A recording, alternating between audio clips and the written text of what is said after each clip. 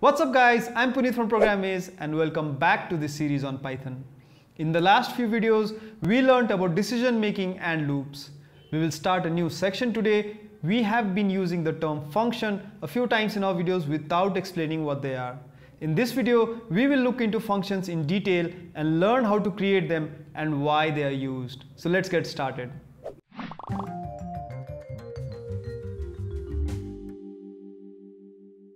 In programming, a function is a group of related statements that performs a specific task.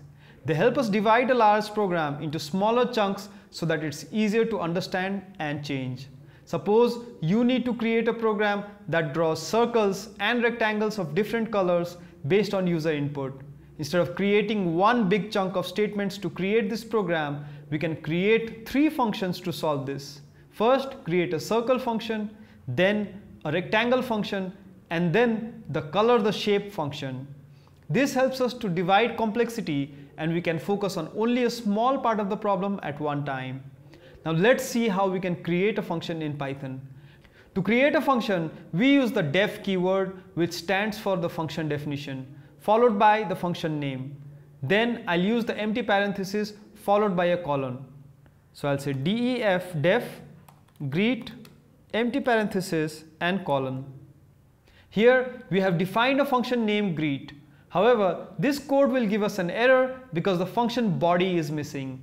Let's fix that. For now, I'll only add two print statements as its body. So I'll say print hello and then let me add another print statement print how do you do.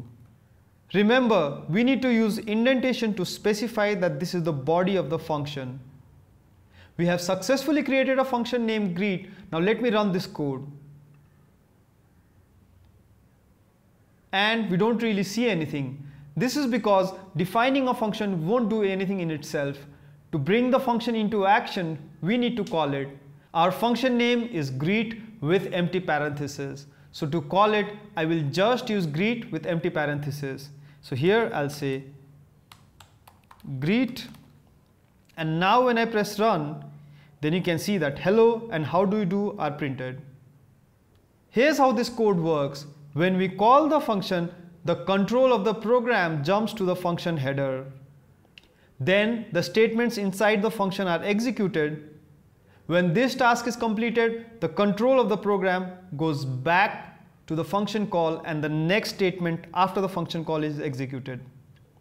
One thing with functions is that once we define a function, we can call it any number of times.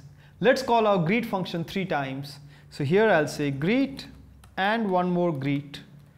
And now if I press run, as you can see, the function has run three times. That's why these two statements were executed one, two, and three times. So if we need to perform a task again and again, we can wrap the codes inside a function and use the function any number of times. We just need to call the function again and again. One thing to remember when we create a function is that we need to define a function first before we can call it. This code for instance will not work. Let me run this code to show you. Here, when the greet function is called, Python doesn't know that this function exists because it's defined after the function call. So always remember to define a function before you use it. Now let's talk about Python arguments and how our greet function from the previous example can be changed to allow arguments. Suppose we want to make our greet function a bit more personal. So instead of printing hello, we want to print something like hello Jack or whatever the person's name is. In such cases, we can pass values to a function these values we pass to a function are called arguments. So I'll go back to the code that I started with. I'll remove these two greet functions because I want only one. And here inside the greet function, I'll pass the jack string like this. This value that we pass during a function call is called an argument. So jack here is an argument. And in the function definition, I'll add a variable in the greet function. I'll call it name this name variable accepts whatever value is sent as an argument during the function call. In this case, Jack is transferred to the variable name.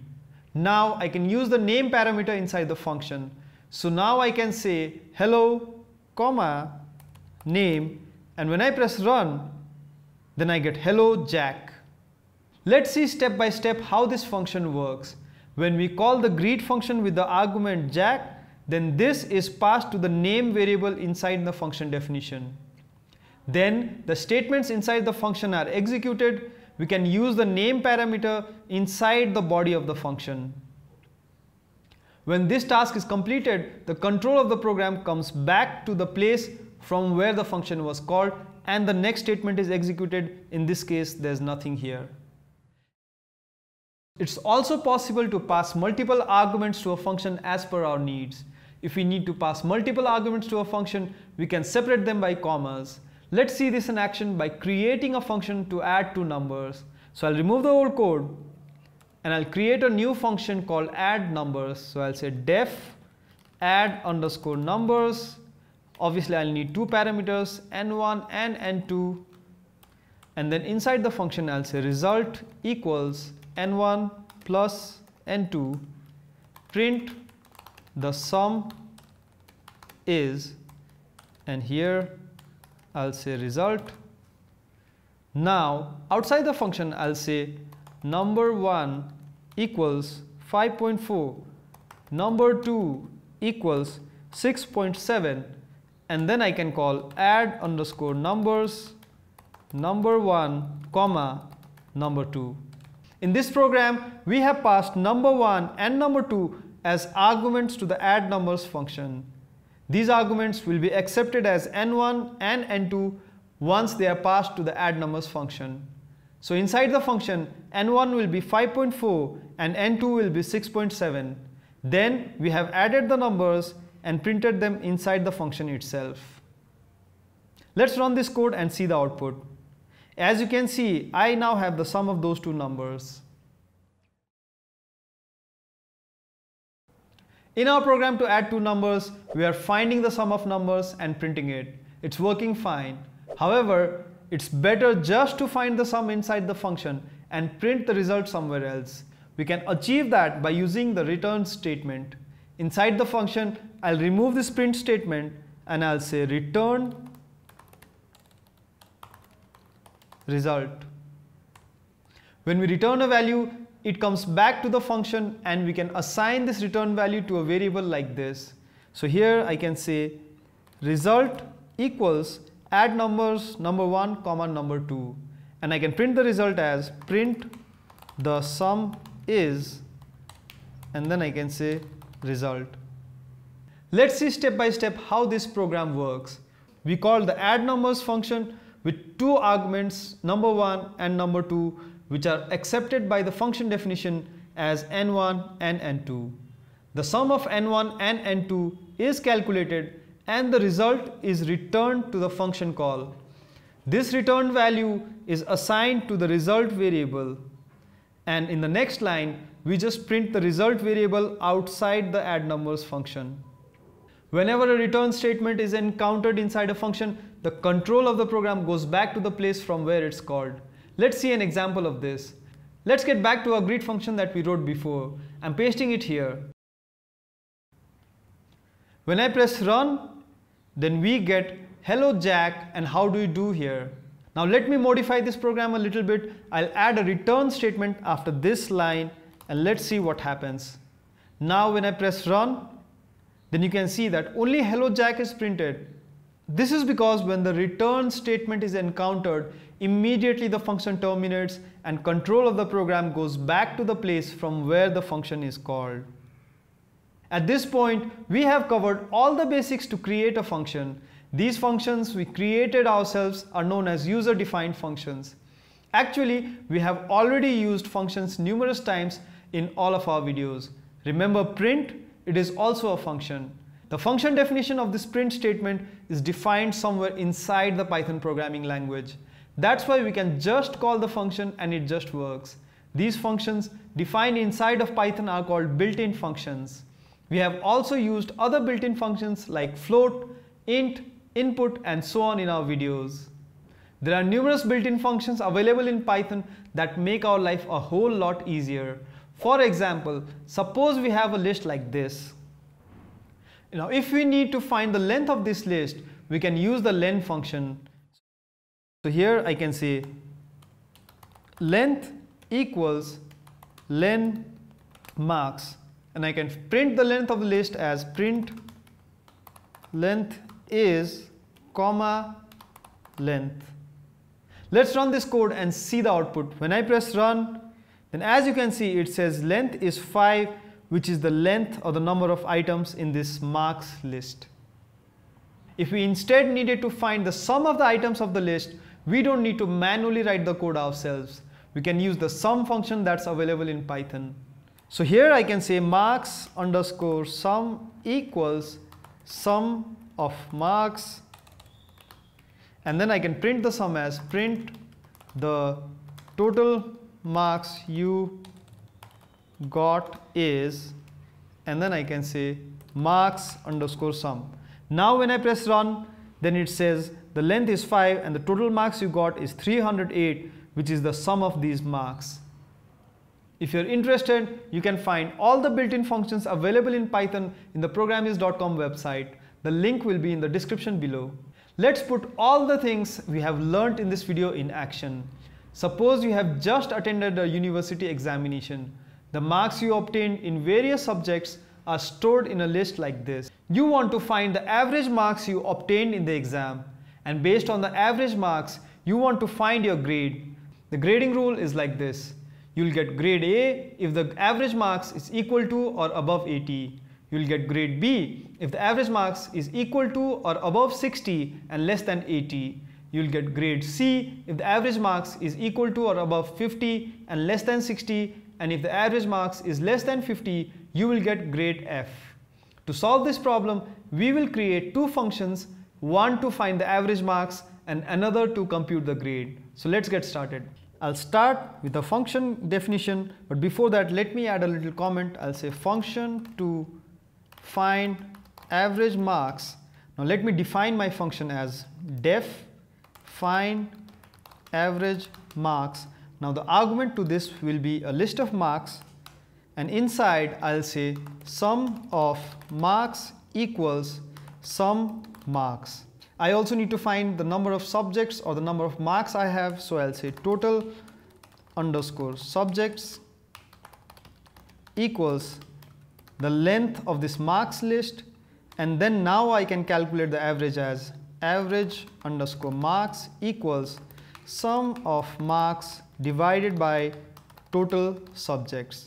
Let me return this average marks variable and now outside the function I can say average marks equals find average marks. I'll pass in the marks list and here I'll say print your average marks is and I'll say average underscore marks.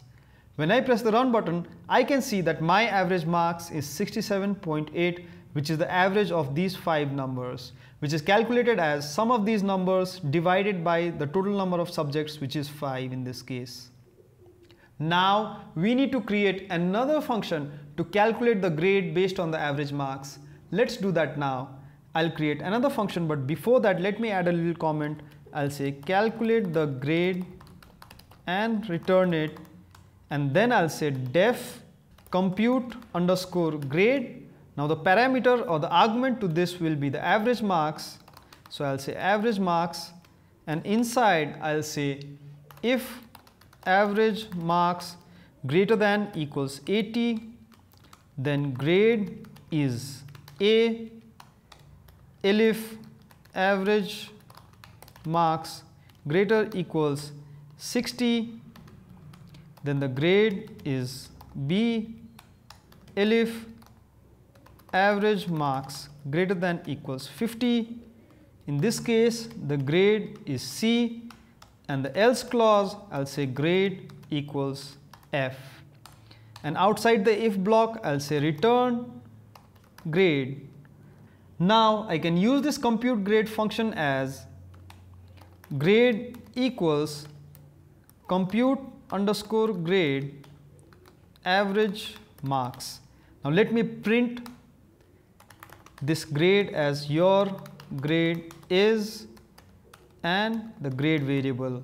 Now when I press run I can see that my average marks is 67.8 and my grade is B, which is not the best result but at least I now know what my grade is. Before we end this video, here's a programming task for you. Can you create a program to add and multiply two numbers? For this, create two functions, add underscore numbers and multiply underscore numbers. These functions should compute the result and return them to the function call. And the results should be printed from outside the function. You'll find the answer to this question in our GitHub repository. Also visit our website programiz.com for more tutorials and examples. The links will be in the description below. Now let's recap what we learned. A function is a block of code that performs a specific task. We use the def keyword to define a function. To bring the function into action, we need to call the function. We can call the same function as many times as we want as per our needs. We can pass values to a function. These values passed to functions are called arguments or parameters. The return statement can be used inside a function. The return statement returns a value from a function and exits the function as well. That's it for this video. I hope you learned something. If you're just watching the video without writing any code, I highly encourage you to try the programs in this video on your own. The only way you can be a good programmer is by trying. By the way, you can find all the programs from this video on GitHub. I've provided the link in the description below. Feel free to copy the program and edit them as you please. And if you have any questions and feedback, use the comment section below. In the next video, we will learn about different types of function arguments in Python. Join me in this video series and let's explore the exciting world of programming together. If you like this video, hit the like button now and also don't forget to subscribe to our channel and ring that bell icon so that you don't miss the next video. Thanks for watching and I'll see you in the next one. Happy programming!